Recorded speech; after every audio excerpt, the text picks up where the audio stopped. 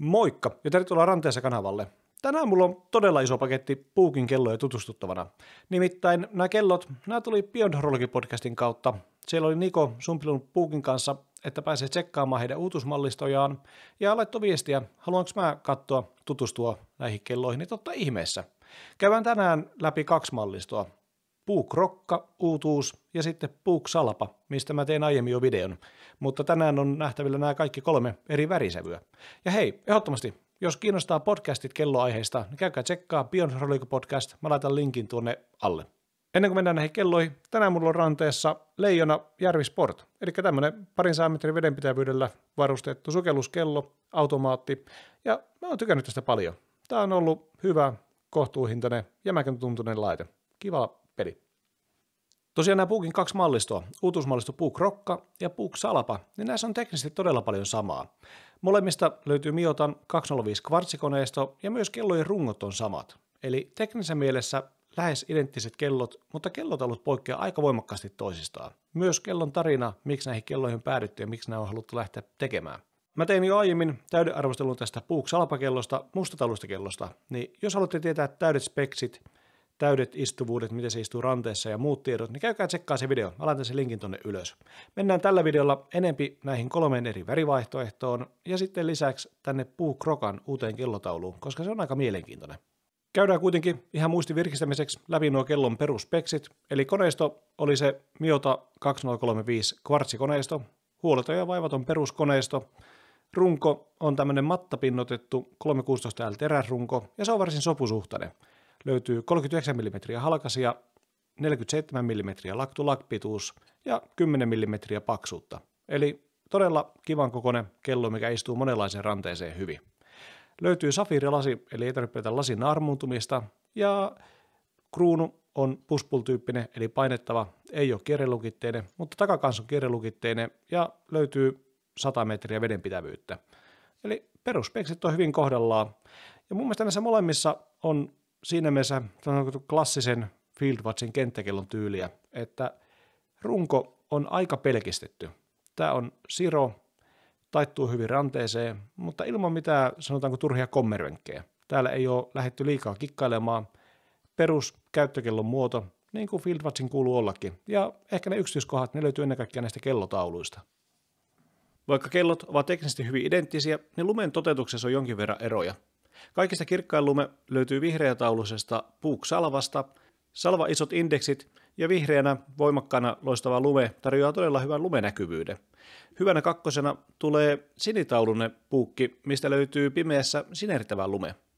Mustatauluisen puuk salvan ja puuk rokan päiväolossa kellertävä patinoitunut lume ei aivan pärjänneelle kahdelle, mutta myös pimeässä tämäkin lume on nähtävissä silmämääräisesti vielä tunteja valojen sammuttamisen jälkeen. Tämä Puk Salapa, se on tosiaan tehty yhteistyössä reserviläis- ja reserviupseriliittojen kanssa, ja se toimitaan tämmöisessä kenttälaukussa. Ja kuten nimi antaa viitata, Salapa, tämä on tehty muistamaan Suomen Salapa-linjaa, eli Suomen suurinta puolustusrakennelmaa, mikä on sitten suojannut meitä mahdollisesti hyökkäävältä viholliselta. Tästä Salapa-mallistosta mulla kävi aiemmin arvostelussa tämä mustataulunen malli. Mä tykkäsin tämän kellotaulusta aika paljon. Tässä on kiva tämmöinen tekstuuri, aika rouhea kellotaulu, vähän niin kuin kivimäinen tai tämmöinen rapattu pinta. Mä nyt oikein osaa sanoa, miten sen kuvaisi, mutta ei ole missään nimessä mikään sunbursti, vaan hyvin hillitty ja tekee kellotalun todella lukuiseksi. No indeksit, ne on myös todella isot, ja sitten tuolla löytyy salpallinen muoto, mikä hohtaa pimeässä, eli todella kiva kokonaisuus. Mä itse tykkään yleensä ottaen ihan tämmöisestä Faux-patinasta, eli feikkipatinasta, tämmöisestä patinoituneesta lumesta, mutta jos et ole tämän ystävä, niin silloin itse tämä vihreä ja sininen taulu astuu hyvin kehiin. Tämä vihreä, tosiaan perinteisemmällä vihertävällä lumella, tämä on enempi perinteinen Fieldwatchi, ei mennä niinkään sinne vintage-asetelmaan, ja todella kiva näköinen tämäkin. Kivasti loistaa nuo indeksit tuossa olivin vihreässä kellotaulussa, armyvihreässä kellotaulussa, ja näyttää hyvältä. Mä tykkään. Samaten tämä sininen, tämmöinen sanotaanko syvä, rauhallinen sininen. Ei missään nimessä mikään kiiltävä tai häiritsevä väri, vaan tosi tasapainoinen. Ehkä yleiskäyttöisemmäksi mä edelleen pidän tuota mustataulusta, mutta siinä on se vahva vintage-fiilis.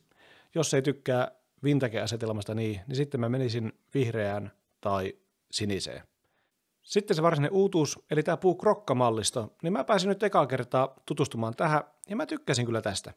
Vaikka tämä on teknisesti käytännössä sama, sama kuori, sama koneisto ja näin poispäin, niin ulkonäkö on vahvasti erilainen. Se antaa tälle erilaisen tyyli, vaikka tässä on haettu kuitenkin molemmissa historiaa Suomen sodista. Ja tällä oli inspiraationa ymmärtääkseni kaksi tavallaan toisiinsa nivoutuvaa tarinaa. Ensinnäkin oli se, että puukin porukat, ne tapas Rokkaknifesin perustajat. Eli rokkapuukot tekee korpisoturipuukkoa, ja heillä tuli siinä natsas idea, että olisi kiva saada heidän puukkoihin sopiva kellomalli. Tämmöinen työkalukello, käyttökello, mikä ei pelkää käyttöä, ja tämä rokkamalli on osa sitä tulosta. Toiseksi tämän puukrokkakello inspiraatio, se löytyy vähän toista reittiä, eli Puukin porukat, he jutteli Raju Letterworksin Jukan kanssa ja suutari Kolehmaisen suutarimestari Tuomo Rokan kanssa. Kävi ilmi, että tuo Tuomon sukulainen Antti Rokka, se taisteli Suomen sodissa ja sillä oli aika mielenkiintoisia tarinoita kerrottavana. Mä en itsekään niitä tarinoita tarkalleen tiedä, eli jos haluatte tietää täydet tarinat tämän kellon synnystä ja niistä historioista, mitä täällä halutaan kunnioittaa, muistuttaa, niin jos olette Lahdessa päin käymässä, käykää tsekkaa Suutari Kolehmainen. Se on myös Puukin jälleenmyyjä ja sieltä kuulee tarina ja pääsee tutustumaan näihin kelloihin. Tämä puukrokka, tämä ulkonäkö on aika vahvasti erilainen mitä tuo salpalinja. Ja tässä on enemmän yksityiskohtia, enemmän detaileja, enemmän vähän kaikkea. Selkeästi löytyy vintakehenkisyyttä, mutta sitten löytyy myös enempi ehkä modernia otetta ja kivasti ulottuvuutta ja tekstuuria kellotaulusta. Paljon yksityiskohtia, mitä huomaa vasta ajan kanssa ja leikkii kivasti valon kanssa. Täältä löytyy perinteiset vintakehenkiset viisarit, niistä löytyy tuommoinen patinoitu Old Radium-henkinen lume. Samanlainen Old Radium lume löytyy myös sitten tuolta 12, 3, 6 ja 9 ja pienemmistä numerista indekseistä. No indeksit, niiden fontti on aika tuommoinen niin sotilaallinen ja ehkä vähän modernimpi, mitä viisarit antaa odottaa. Toisaalta tulee myös vähän jopa tämmöinen pilottikellohenkisyys. Ei pelkästään Fieldwatchi, mutta mennään vähän jopa tuonne ilmailun puolelle. Mä tykkään tästä kokonaisuudesta. Kiva, selkeä kellotaulu, aina helppo lukea aika. Se, mikä tässä on mielenkiintoinen, on tämä kellotaulun tekstuuri. Täältä löytyy todella paljon kaikenlaista.